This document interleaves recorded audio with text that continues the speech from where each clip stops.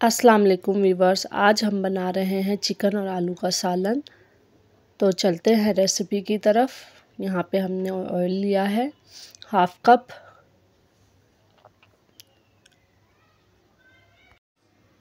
Oil को अच्छा सा गर्म होने देंगे।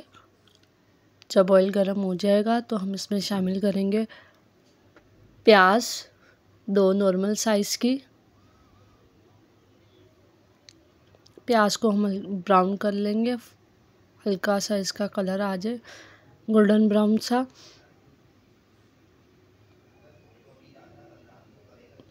ये हमारी प्याज का कलर आ चुका है।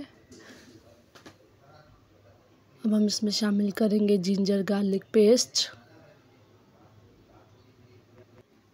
One tablespoon. अब इसको इसमें अच्छी तरह फ्राई कर लेंगे। फ्राई करने के बाद हम इसमें शामिल करेंगे चिकन, हाफ़ के जी चिकन को हम इसके साथ अच्छा सा फ्राई कर लेंगे। इसका चिकन का कलर गोल्डन ब्राउन सा आ जाए। इसको इसके साथ अच्छी तरह इसकी भुनाई कर लेंगे। ये देखिए हमारी चिकन फ्राई हो रही है।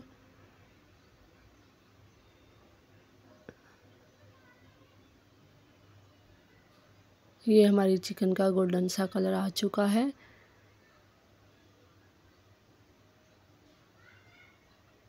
अब हम इसमें शामिल करेंगे ग्रीन चिल्ली, फोर अदद। अब इसके साथ थोड़ा सा और इसको कुक कर लेंगे।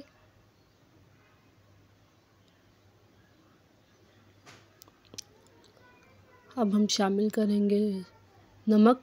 One tablespoon.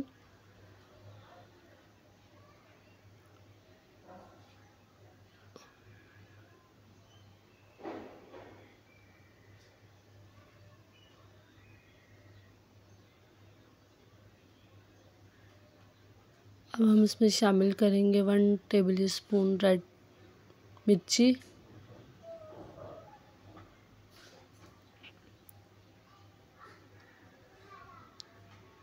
अब हम शामिल करेंगे वन टेबल स्पून गरम मसाला पाउडर। अब हम इसको सब चीज़ों को अच्छी तरह इसके साथ मिक्स कर लेंगे।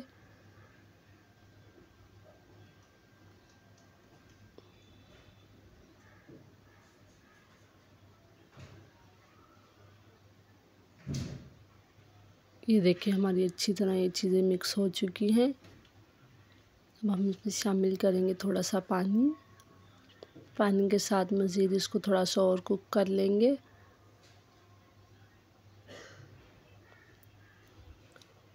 ये देखिए, थोड़ी देर हो चुकी है। अब हम इसमें शामिल करेंगे टमाटर फोर नॉर्मल साइज़ के। और टमाटर के साथ इसको अच्छी तरह कुक कर लेंगे। चिकन अच्छी तरह गल जाए और टमाटर भी बिल्कुल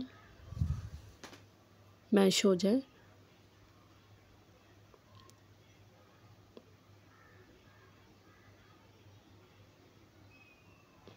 ये देखें आफ्टर फाइव मिनट हमने पाँच मिनट इसको कुक किया था।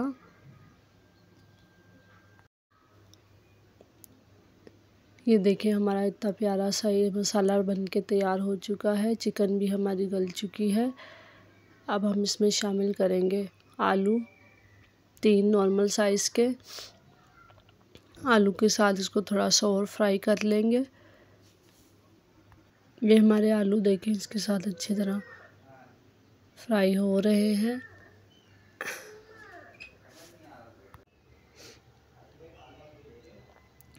अब हम इसमें शामिल करेंगे पानी एक कप। आपको जितना भी शोरबा पसंद हो, आप उस हिसाब से डाल सकते हैं।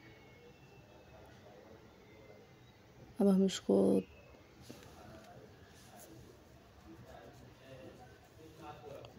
हमने इसको दस मिनट के लिए कुक किया है। दस मिनट हो चुके हैं। ये देखिए, हमारा सालन अच्छा सा बन के तैयार हो चुका है। अगर आपको मेरी ये रेसिपी अच्छी लगी हो तो मेरे चैनल को लाइक करें, सब्सक्राइब करें। फाइनल हम आपको डिश आउट करके दिखाते हैं। ये हमारा फाइनल लुक।